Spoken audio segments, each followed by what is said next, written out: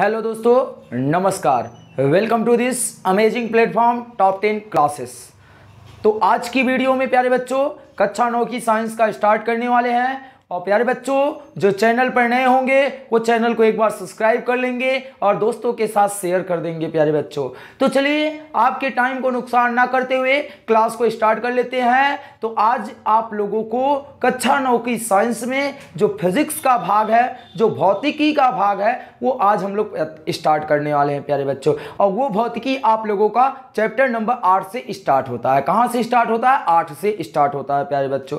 तो सबसे पहले चैप्टर का नाम है गति। चैप्टर आठ है एनसीईआरटी, टोटल एनसीईआरटी। कौन सी है भैया? NCERT T pattern N C R T में चैप्टर नंबर आठ है चैप्टर नंबर एट है, गति। गति को इंग्लिश में मोशन कहते हैं तो मोशन हमको पढ़ना है। चैप्टर का नाम है मोशन चैप्टर का नाम है गति। अध्याय कौन सा है? आठ। तो प्यारे बच्चों, चलिए क्लास को स्टार्ट कर लेते हैं। तो आज के चर्चा में कौन कौन सी टॉपिकें रहने वाली है? प्यार, एक बार बोलिएगा, फिर से देखिएगा। आज की चर्चा में कौन कौन सी हेडिंगें वाले, आने वाली हैं? विरामावस्था क्या होता है?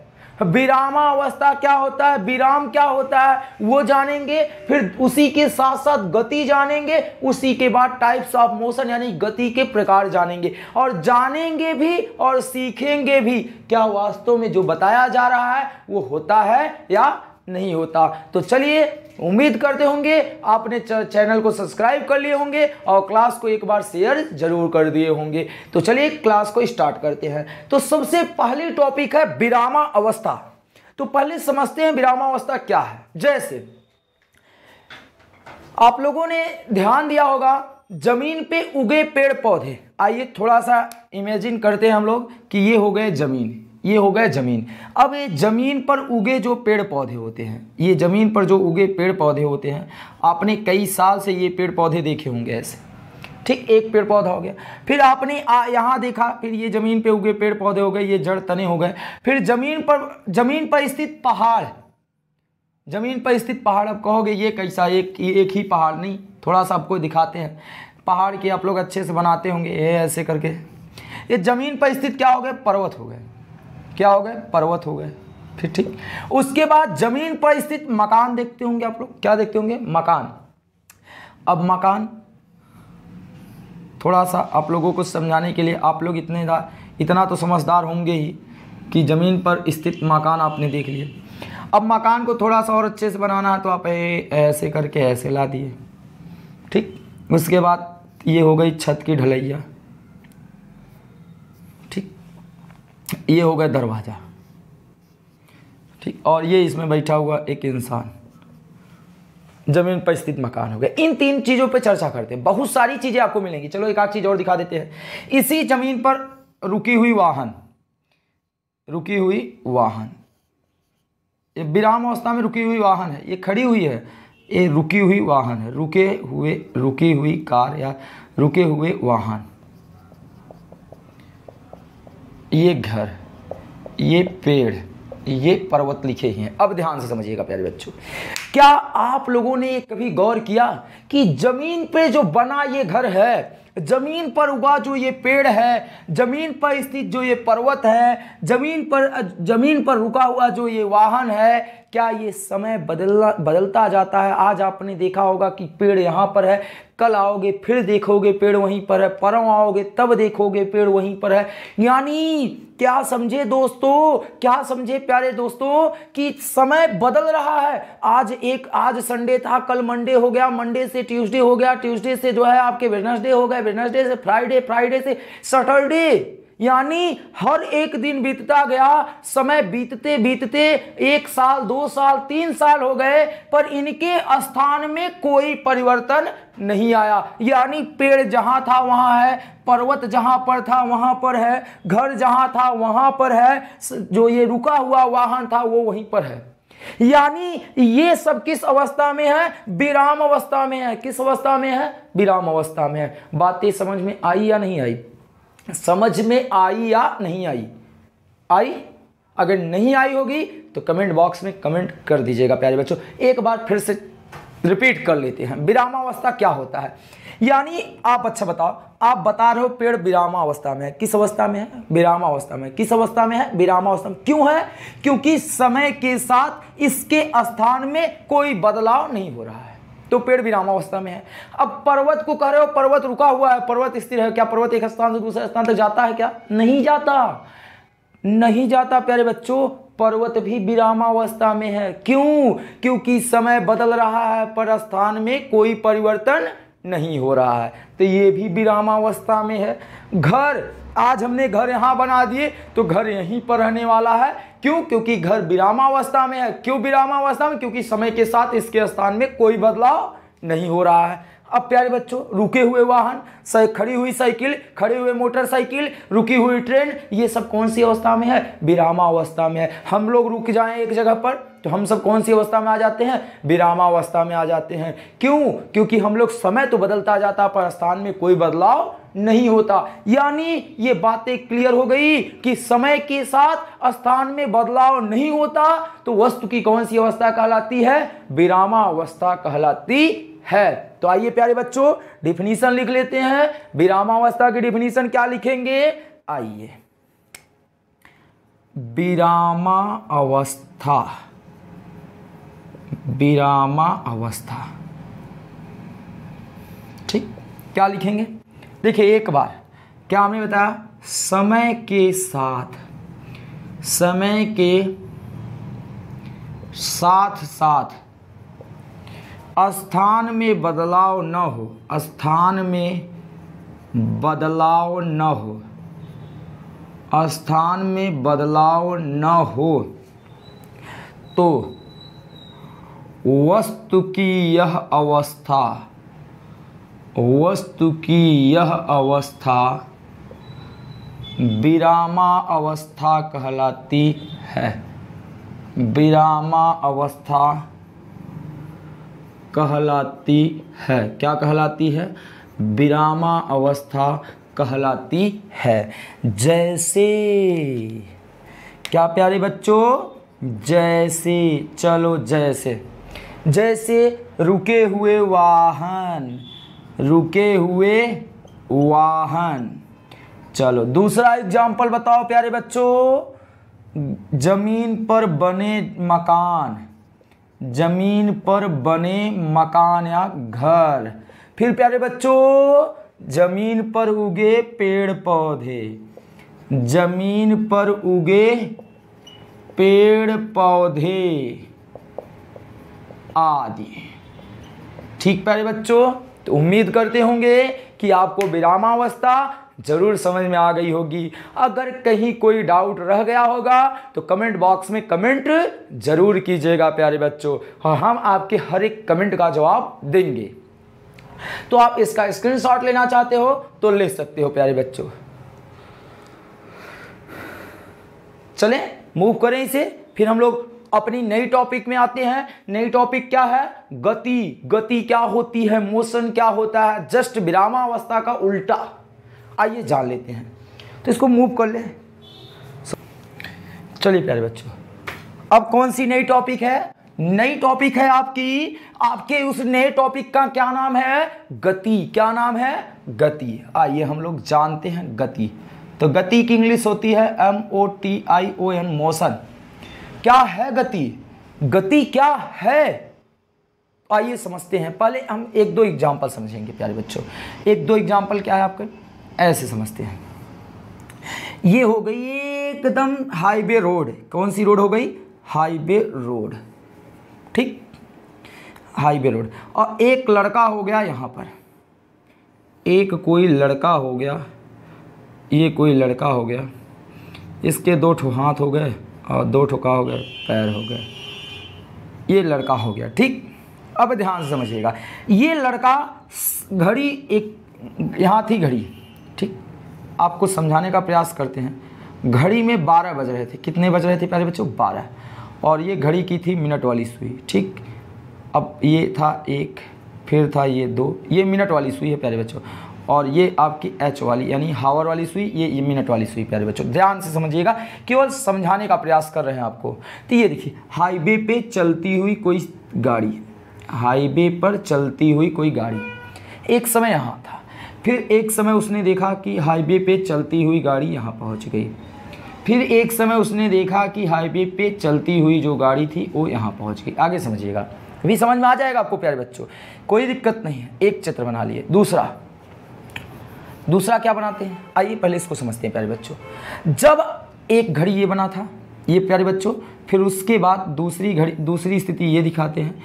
यहाँ बारह था। जो मिनट वाली सुई है, वो एक पर पहुँच चुकी है। कहाँ पर पहुँच चुकी है, प्यारे बच्चों? एक पर पहुँच चुकी है। देखिएगा, अंतर ध्यान से। और जब तीसरी स्थिति उन्होंने देखा, ये फ़र्स्ट था, ये सेकेंड था, और थर्ड में जब था तो मिनट वाली सुई जो है, दो पे पहुँच चुकी थी। कहाँ पर पहुँच चुकी थी? दो पे पहुँच चुकी थी, प्यारे बच्चों। ध्यान से समझिएगा। ये जो मिनट वाली सुई थी, वो दो पे। ये कौन सा चांस था? Third chance. आइए समझाते अब समझाते हैं हम तो गति क्या होता है, प्यारे बच्चों? ध्यान समझिएगा। क्या होता है? सड़क पे चलती हुई वाहन, सड़क पे चलती हुई गाड़ियाँ, सड़क पे चलते हुए इंसान, सड़क पे चलती हुई मोटरसाइकिल, पटरियों पे दौड़ती हुई ट्रेनें, उड़ता हुआ हवाई जहाज़। ये सब क्या है? गतिशील है। ये सब क्या है? गतिशील है। क्यों गतिशील है? आइए समझते हैं। अब देखिए, घड़ी में जो मिनट वाली सुई थी, वो प्यारे बच्चों बारह पर थी। किस पे थी? बारह पर थी। किस पे थी? बारह पर थी। तब ये छोटा सा बच्चा, ये जिस बच्चा, ये बॉय, ये जो बॉय था, ये छोटा सा लड़का था, तब उसने देखा कि हाईवे पे एक सड़ हाईवे पे एक कार आ रही थी, एक कार आ रही थी। तो देखा, जब मिनट वाली सुई 12 से एक पे पहुँच गए, जब मिनट वाली सुई 12 से एक पे पहुँच गया तो ये कार यहाँ से चल के यहाँ पहुँच गई थी। कहाँ पहुँच गई थी? यहाँ से चल के यहाँ पहुँच गई। ये मान लीजिएगा, प्यारे बच्चों, ये आपका कोई प्लेस रहा होगा। ये प्लेस कोई कौन सा मान लेते हैं? जैसे आपने ये कोई प्लेस मानेंगे, क्या मानेंगे? पी मान लिए, कोई क्यू मान लिए, क्या मान लिए? आर मान लिए, प्यारे बच्चों।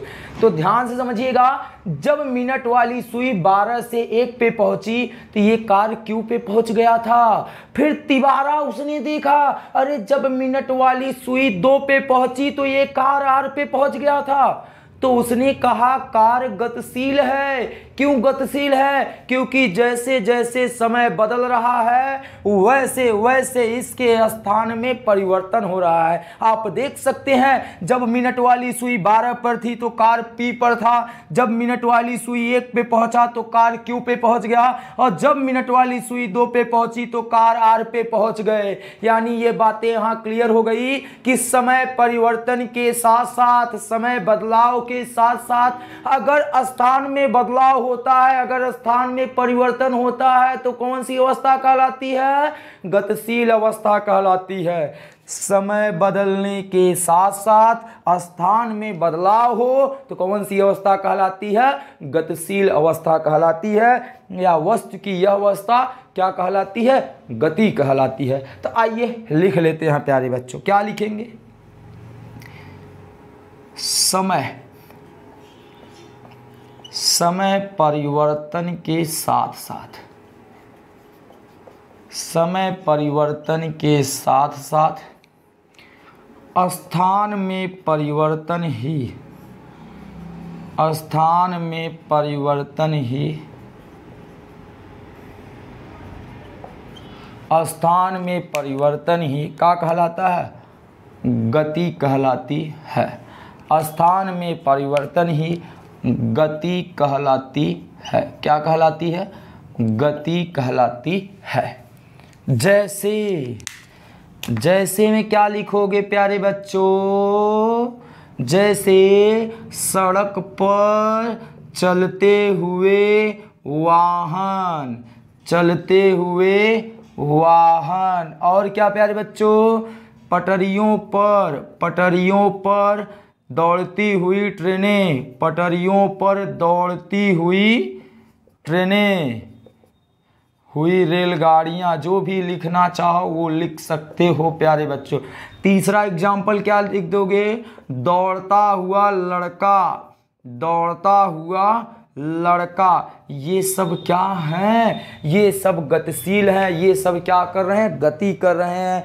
यानी केवल एक बात क्लियर होनी चाहिए कि समय बदलाव हुआ समय बदला, अगर स्थान में बदलाव हो गया तो गतिशील हो गया। जैसे ये मार्कर यहाँ पर था, समय बदलने के साथ साथ समय बढ़ रहा है, मार्कर भी अपने स्थान से बढ़ रहा है तो कौन सी अवस्था कहलाती है? गतिशील अवस्था कहलाती है। आइए हम इमेजिन करते हैं, जैसे हम, आप देख रहे हैं, हम यहाँ पर हैं। एक मिनट बीत गया, दो मिनट बीत गया, तीन मिनट बीत गया तो हम केवल यहीं ऐसे खड़े हैं तो हम कौन सी अवस्था कहलाते हैं? विरामावस्था। कौन सी अवस्था? विरामावस्था। अगर यही हम आपने देखा, एक सेकंड बीता, हमने यहाँ आ गए, दो सेकंड बीता, फिर यहाँ आ गए, तीन सेकंड बीता, फिर यहाँ आ गए, चार सेकंड बीता, फिर हम यहाँ आ गए। तो समय बदलने के साथ साथ हम अपना स्थान बदलते चले आ रहे हैं। तो कौन सी अवस्था कहलाती है? गति अवस्था कहलाती है। तो प्यारे बच्चों, अगर आप इसका स्क्रीनशॉट लेना चाहते हो तो ले सकते हो। चलिए प्यारे बच्चों अगले टॉपिक की अध्ययन करते हैं और आज के लेक्चर की ये लास्ट टॉपिक होने वाली है और लास्ट टॉपिक पढ़ने से पहले जो प्यारे बच्चे चैनल को शेयर नहीं किए होंगे और सब्सक्राइब नहीं किए होंगे, वो एक बार ज़रूर कर लेंगे प्यारे बच्चों, क्योंकि आपकी एक लाइक और शेयर और सब्सक्राइब से कुछ जाता नहीं है आपका, बल्कि हम लोगों को एक अलग टाइप की एनर्जी प्राप्त हो जाती है प्यारे बच्चों। तो अगर कोई दिक्कत हो, कोई आपको प्रॉब्लम हो कमेंट बॉक्स में कमेंट कर सकते हैं, प्यारे बच्चों। तो आइए लास्ट टॉपिक की अध्ययन करते हैं। आज के क्लास के लास्ट टॉपिक क्या है? गति के प्रकार, यानी टाइप्स ऑफ़ मोशन तो चलिए टॉपिक क्या बनाते हैं? गति के प्रकार। क्या बनाते हैं, प्यारे बच्चों? गति के प्रकार। गति के प्रकार। जिसकी इंग्लिश होती है types of motion T Y P S of motion M O T I O M तो प्यारे बच्चों टाइप्स ऑफ़ मोशन यानी गति के प्रकार। क्या होता है? अब गौर से सुनिएगा प्यारे बच्चों। गति के प्रकार, गति कितने प्रकार की होती है? तीन प्रकार की होती है। इनको कितने भागों में बांटा गया है प्यारे बच्चों? तीन भागों में बांटा गया कितने भागों में बांटा गया तीन भागों में। आपको पढ़ना कौन सा है? वो भी बता रहे हैं। तो पहला था सरल रेखीय गति। कौन सी गति? सरल रेखीय गति। दूसरी गति कौन सी हो गई? ये दूसरा भाग, ये पहला भाग, ये कौन सा भाग? तीसरा। ये कौन सी गति हो गई? वृत्तीय गति। कौन सी गति हो गई? वृत्तीय गति। और ये तीसरी कौन सी गति हो गई यारो? दोलनी गति। कौन सी गति हो गई? दोलनी गति हो गए। बच्चा लोग, समझ में आया भैया? कितने भाग हो गए?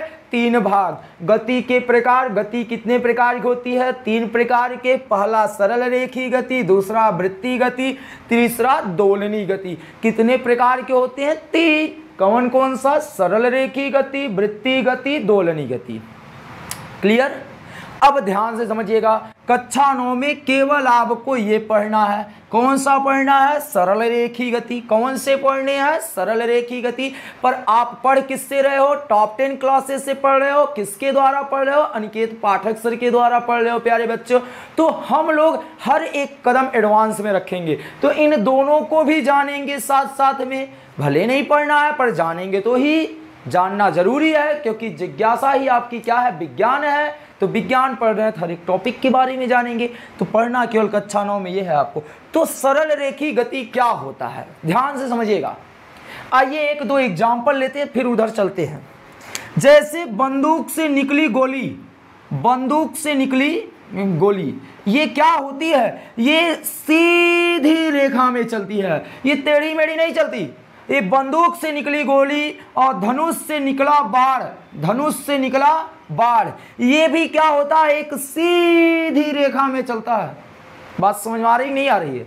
यानी कहने का मतलब है कि ये दोनों सरल रेखी गति कर रहे हैं। क्या कर रहे हैं? सरल रेखी गति कर रहे हैं। यानी बातें यहाँ समझ में आ गई कि जब कोई वस्तु एक सीधी रेखा में गति करता है तो कौन सी गति कहलाती है? सरल रेखी गति कहलाती है। यानी जब कोई वस्तु एक सरल रेखा में, एक सीधी रेखा में गमन करे, सीधी रेखा में चले तो कौन सी गति कहलाती है? सरल रेखी गति कहलाती है। अगर हम लोग भी एक सीधी रेखा में चले तो हम लोगों की भी गति क्या कहलाएगी? सरल रेखी गति कहलाती है। तो प्यारे बच्चों, लिख लेते हैं, सरल रेखी गति क्या होगा? जब कोई वस्तु एक सीधी रेखा में, एक सीधी रेखा में गमन करती है, गमन करती है तो वस्तु की गति। तो वस्तु की गति सरल रेखीय गति कहलाती है। तो वस्तु की गति सरल रेखीय गति कहलाती है। ठीक, जैसे जैसे प्यारे बच्चों, जैसे बंदूक से निकली गोली। क्या बंदूक से निकली गोली? दूसरा, धनुष से छुटा बाण। धनुष से छुटा बाण। ठीक प्यारे बच्चों, ये बातें क्लियर हो गई। उसके बाद आते हैं वृत्ति गति। कौन सी गति? वृत्ति गति। चलो, वृत्ति गति। क्या होता है? ध्यान से समझिएगा। ये प्यारे बच्चों, ये कोई बिंद हो गया। अब ध्यान से समझिएगा, जब ये मार्कर क्या हो गया? वस्तु हो गया। क्या हो गया? वस्तु हो गया। क्या हो गया? वस्तु। अब जब कोई वस्तु एक निश्चित बिंदु को क्या मान ले केंद्र मान ली ये निश्चित बिंदु को क्या मान लिया? केंद्र मान लिया। केंद्र मान के वृत्ताकार मार्ग पर क्या करे? गति करे। वृत्ताकार मार्ग पर गति करे। तो कौन सी गति कहलाती है? वृत्ति गति कहलाती है। यानी एक निश्चित बिंदु को केंद्र मान ले और केंद्र मान के वृत्ताकार मार्ग पर ऐसे ऐसे ऐसे ऐसे गति करे तो कौन सी गति कहलाती है? वृत्तीय गति कहलाती है। जैसे मैंने क्या बताया?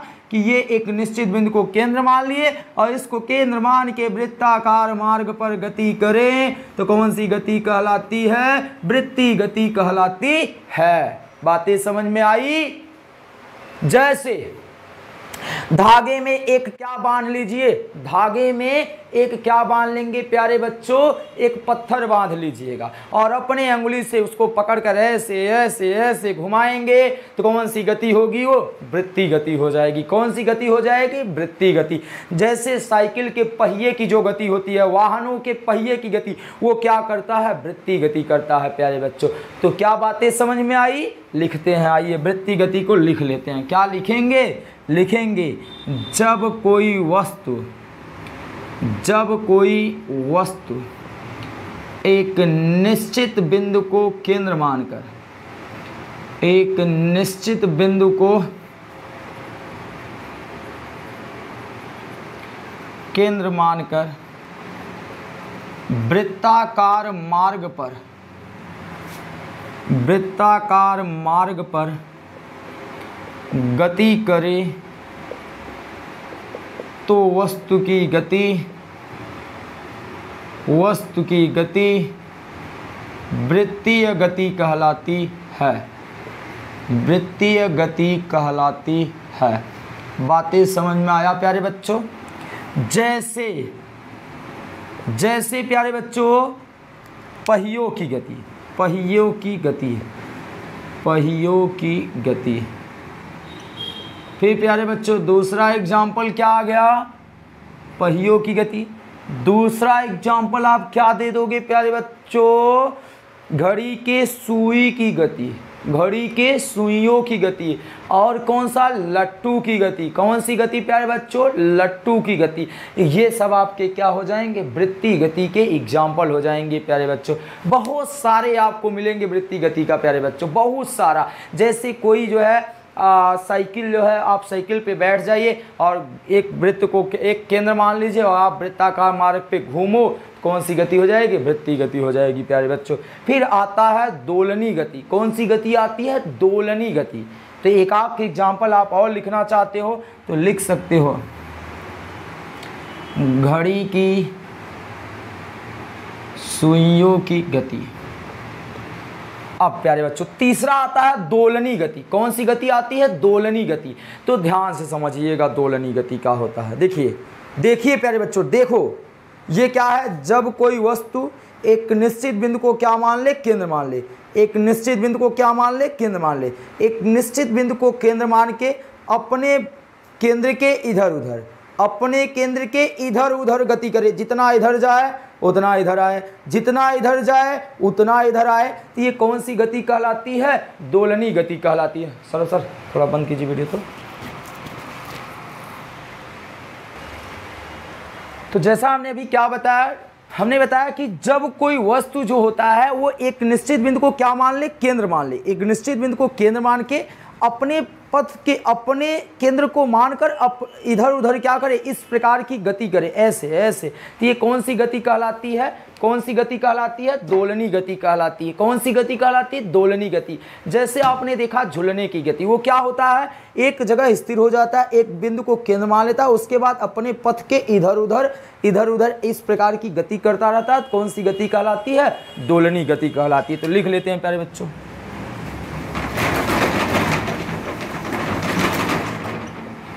जब कोई वस्तु एक निश्चित बिंदु को, एक निश्चित बिंदु को केंद्र मानकर केंद्र मानकर अपने पथ के, अपने पथ के इधर उधर इधर उधर गति करे तो वस्तु की गति दोलनी गति कहलाती है। वस्तु की गति दोलनी गति कहलाती है। जैसे जैसे झूलने की गति। कौन सी गति? झूलने की गति या झूले की गति। किसकी गति? झूले की गति। फिर दूसरा एग्ज़ाम्पल कौन आता है? आपने देखा होगा घड़ी में कोई पेंडुलम लटके रहते हैं। जैसे ही बारह बजता होगा, एक बजता होगा तो ए ऐसे ऐसे करता होगा। ठीक तो वो किसकी गति होती है? पेंडुलम की गति। पेंडुलम की गति। ठीक आदि। बहुत सारे आपको एग्ज़ाम्पल मिल जाएँगे। प्यारे बच्चों इस प्रकार हमने जिन टॉपिकों के बारे में आज कहे थे, वो टॉपिक आपको बता दिए गए। विरामावस्था, गति और गति के प्रकार। अगर आपको कहीं भी, किसी भी टॉपिक में कोई डाउट हो तो आप कमेंट बॉक्स में कमेंट कर सकते हैं। और प्यारे बच्चों, उम्मीद करते होंगे कि वीडियो आपको ज़रूर पसंद आया होगा। अगर पसंद आई होगी तो लाइक कर दीजिएगा। और चैनल पे नए होंगे तो चैनल को सब्सक्राइब कर लीजिएगा। और मिलते हैं नेक्स्ट वीडियो में। तब तक के लिए जय हिंद, जय भारत।